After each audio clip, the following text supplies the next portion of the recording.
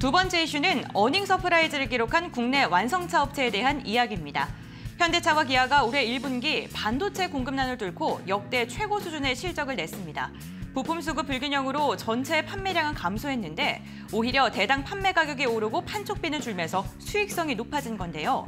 2분기 악재 해소와 함께 주가도 날아오를까요? 자세한 이야기 나눠보겠습니다.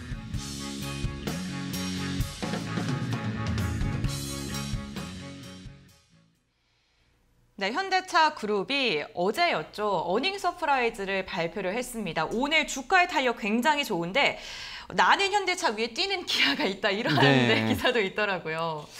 그러니까 어제 나란히 좀 실적 발표를 했는데 네. 사실 현대차도 저는 어닝 서프라이즈라고 생각을 했는데 네. 어, 기아가 훨씬 더 강력했죠. 그러니까 좀 뭐 반도체 수급부터 시작해서 이제 어떻게 보면 우크라이나 러시아 사태까지 좀 대외적으로 상당히 많은 변수들로 인해서 실적에 대한 좀 걱정이 좀 많았었는데. 확실히 이러한 우려를 좀 뚫고 역대 최고 수준의 실적을 냈다라고 좀 말씀을 드릴 수 있을 것 같은데 일단 뭐 현대차 같은 경우 1분기 매출액이 30조가 넘었고 영업이익 같은 경우 한 1조 9천억 정도가 되는데 특히 이제 영업이익 같은 경우 전년 동기 대비 16% 이상 증가한 수치를 보여주고 있습니다. 특히 영업이익 같은 경우는 2014년 2분기 이후 8년 만에 최대치를 좀 기록을 했다라고 볼 수 있을 것 같고 말씀하셨던 것처럼 기아 같은 경우는 뭐 분기 사상 최대 매출과 영업이익을 좀 기록을 했습니다. 특히 매출 같은 경우는 뭐 10% 이상 증가하면서 전년 동기 10% 증가하면서 18조 정도 이상을 좀 기록을 했고 영업이익 같은 경우 약 한 50% 정도 늘어나면서 1조 6천억 정도를 기록을 했는데 영업이익률 같은 경우 8조 8%를 좀 기록을 하면서 2012년 2분기 이후 약 10년 만에 최고치를 달성했다라고 보이고 있는데요. 사실 이렇게 생각하시면 됩니다. 글로벌 판매량은 한 9.7% 도매 기준으로는 줄었습니다. 어, 네. 그러니까 판매량은 줄었는데 대당 판, 판매 가격 ASP가 좀 상, 확실히 상승을 했고 네. 특히 이제 뭐 인센티브 판촉비 감소가 좀 어느 정도 있었기 때문에 판매량의 어떤 타격을 이제 어떻게 보면 대당 단가가 상쇄하고 남았다 이렇게 생각하시면 될 것 같고 지금 신차를 이제 주문을 하시면 네. 주문을 하면 이제 현대차나 기아 같은 경우는 1년 8개월까지도 걸린다는 얘기가 있죠. 맞아요. 그 얘기인즉슨 수요가 내년까지도 계속 이어진다라는 측면에서 봤을 때 지금 1분기 어떤 사상 최대 실적은 어떻게 보면 단기성으로 끝나는 것이 아니라 올 한 해 계속 지속되지 않을까라는 좀 예측이 있습니다. 그래서 사실은 이제 뭐 전쟁, 뭐 원자재 공급에 관련된 부분들, 판가 인상 관련된 부분들 여러 가지 좀 악재가 있지만 결국 이런 거를 다 수요로 커버할 수 있다라는 양사에 좀 자신감이 있을 것 같고 또 이제 뭐 어제 뭐 뉴스도 같이 나왔습니다만 이제 뭐 RE100 뭐 이니셔티브에서 이제 기업 사용 전력량의 100%를 재생에너지로 충당한다는 어떤 이러한 좀 가입 승인도 받았기 때문에 확실히 이제 뭐 신재생 에너지 관련 쪽으로도 분명히 좀 모멘텀이 있지 않을까 생각을 하고 있고 하반기부터 지금 출발할 수 있는 어떤 전기차에 관련된 몸의 추후 모멘텀까지 있기 때문에 일단은 뭐 기아나 지금 현대차 같은 경우는 확실히 좀 저점을 다진 모습. 특히 이제 오늘 같은 경우 기아의 상승분이 상당히 좀 눈에 띄는데 뭐 현대차 같은 경우 18만 원대 어떤 좀 단기적인 바닥은 지지를 하고 올라가고 있는 네. 부분을 봤을 때 제가 볼땐 충분히 지금 19만 원대 올라가고 있습니다만 여전히 좀 갈 길은 멀다라는 측면에서 봤을 때 충분히 저는 뭐 이제는 바닥에서 돌릴 수 있는 좀 그런 상승 여력이 있지 않나 생각하고 있습니다.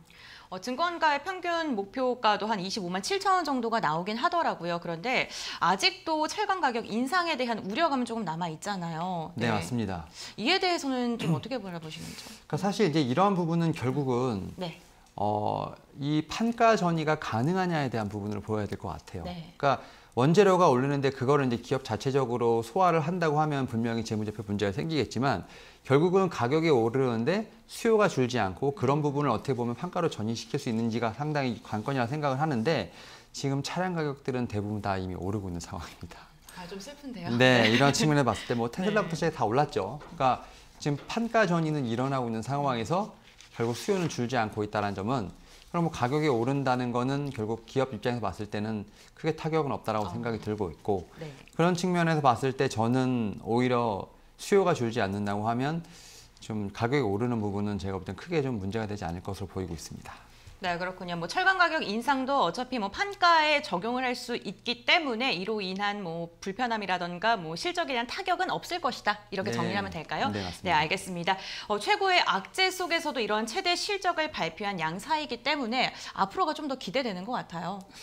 예, 일단은 앞에서 말씀드렸던 것처럼 1분기 실적이 이제 어떻게 보면 단발성으로 끝나는 네. 것이 아니라 올 한 해 계속 이어져야 되는 부분이 있을 것으로 보이고 있는데 지금 뭐 컨퍼런스콜에서도 얘기를 좀 했던 것도 있고 그다음에 사실 이 회사들 같은 경우는 이제 어떻게 보면 자동차라기보다 이제 모빌리티로 봐야 되는 부분이 어, 있거든요. 네. 근데 이제 어제 인수위에서도 모빌리티 관련돼서 얘기가 좀 나왔어요. 그러니까 뭐 수소차, 전기차, 여기에다 뭐 UAM까지 여러 가지 다양한 어떤 이제 모빌리티 체계를 좀 구축을 하고 물론 이제 여기 인프라가 깔리고 제도 개선이 있어야 될 것으로 보이고 있지만 그 중심에는 현대차 기아가 분명히 제가 볼 때는 하나의 축을 담당하지 않을까 생각을 하고 있고 또 여기에 또 로봇과 관련된 또 모멘텀도 좀 있기 때문에 저는 이러한 부분을 좀 어떻게 보면 과도기적 과정- 과정으로 보고 있고 사실 뭐 이 종목 같은 경우도 보시면 알겠지만 내연기관차가 잘 팔리는 게 이제 주가에 전혀 움직이는 움직임을 주지는 못하고 있는 것 같아요.